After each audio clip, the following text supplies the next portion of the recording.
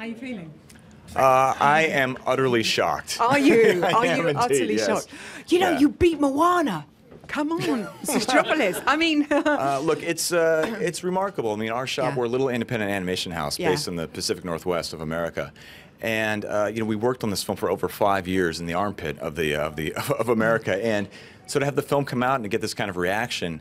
It really is extraordinary. I mean, for us to even be considered as, as some of the top flight storytellers in film, it's an amazing honor. But then to walk home with this, I don't know, it's pretty it's pretty surreal. the thing is, you sort of stop playing it. down. I mean, this is the longest stop motion feature ever made. Yeah, that's and right. also it is your debut as Yes. the director, and Yes. it's such an incredible piece of work. I watched you. it with my seven-year-old daughter. Was she traumatized? She, no, she wasn't traumatized. She absolutely loved it. Well, clearly she has great blown. taste. uh, so good she job does. there, mom. She does definitely.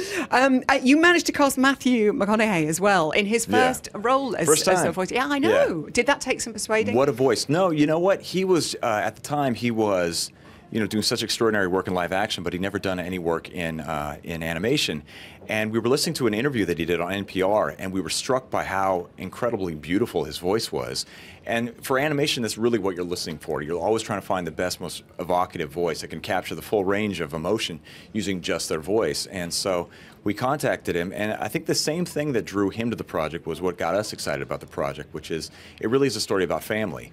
And when we sent him the script, he actually read it as a bedtime story to his kids in chapters. And so uh, it was really heartwarming when he said yes, because obviously he can do any animated film he wants, but he chose ours as his first one. So it was pretty great. Well, congratulations. That's your first piece of work that's taken five years. Will we have to wait another five years for your next piece of work? I'm hoping it'll be a little quicker than that, but yeah, I don't know. We'll see. I know, but you can't rush something like that. You the can't. process True must enough. be in so intense, but absolutely beautiful. Congratulations, Thank Travis. you. Well done. Thank you. Amazing. Cheers.